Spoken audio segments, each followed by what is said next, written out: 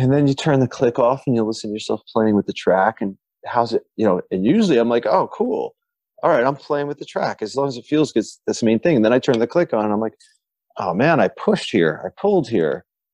Uh, that feels a smidge rushed. Every time i go around the drums i'm a little excited and i come out of the crashing early.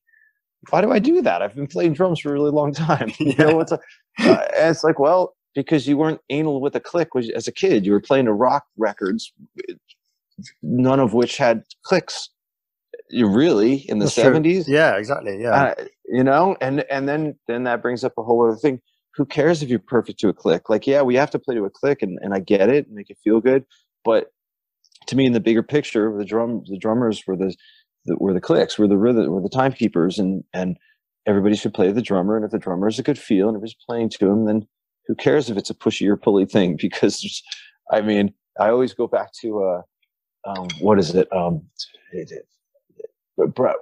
it brown sugar? No no no honky tonk women.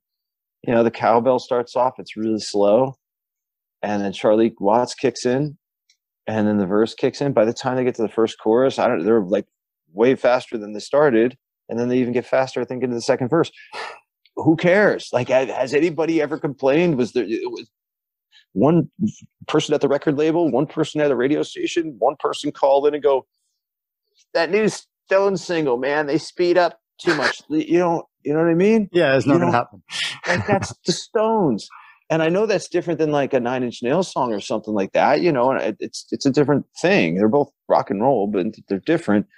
But uh I don't know, like Phil Collins, you know, like Genesis Abacab. Is he playing to a click on like Abacab? I, I don't think so. I mean, it was like what 81 or something, 83, I can't remember, but I don't care, man. He sounds killer. He sounds solid as shit, you know? and uh why who cares you know so that that that comes back to it's about feel but you got to be able to got to be able to make people happy in the studio that's it so start by being consistent and practice to a click you know and Yeah, that's And, um, definitely really it's going to make it it's yeah it's going to make it it's going to make it you have an easier time all the way around if you put the time into playing to a click and listen back to yourself and